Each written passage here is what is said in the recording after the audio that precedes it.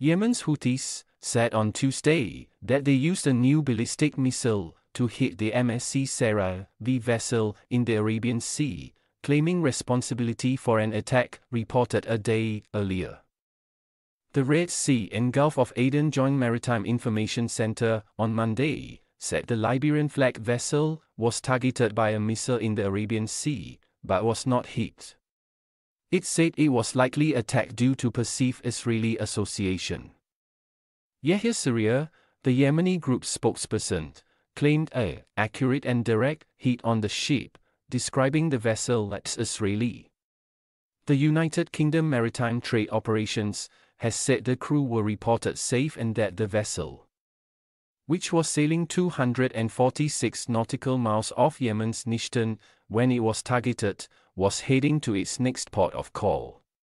Yemen's Iran-aligned Houthi group has been launching drone and missile strikes in shipping lanes since November, saying they are in solidarity with Palestinians in Gaza. In dozens of attacks, the Houthis have sunk two vessels, seized another and killed at least three seafarers.